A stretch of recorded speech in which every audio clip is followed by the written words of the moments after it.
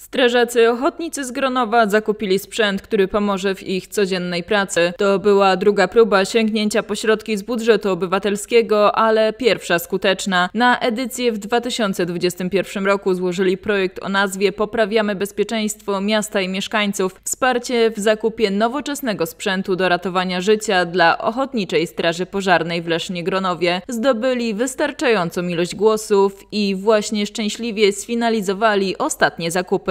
Największą część projektu stanowił zakup narzędzi hydraulicznych, które podołają akcjom prowadzonym nawet na najnowszych konstrukcjach samochodowych. Dodatkowo zakupiono systemy do stabilizacji pojazdów, które poprawią komfort i bezpieczeństwo pracy strażaków oraz osób poszkodowanych w wypadkach. Kolejnym punktem był zakup kamery termowizyjnej. Pozwoli ona jeszcze szybciej i dokładniej zlokalizować ognisko pożaru, a tym samym skrócić czas potrzebny do ugaszenia ognia, co z kolei przyczyni się do zmniejszenia strat pożarowych. Ostatnim elementem projektu był zakup specjalistycznych ubrań i kominiarek. Akcje, do których w głównej mierze wyjeżdżają ASP, to praca ludzi, czyli strażaków, dlatego zdecydowali się na zakup środków ochrony osobistej. Nowoczesne materiały oraz krój nowych ubrań poprawią ergonomię i bezpieczeństwo strażaków. Projekt szacowany był na 199 tysięcy złotych. Strażacy wykorzystali go idealnie, wydatkując kwotę 198 900 993 zł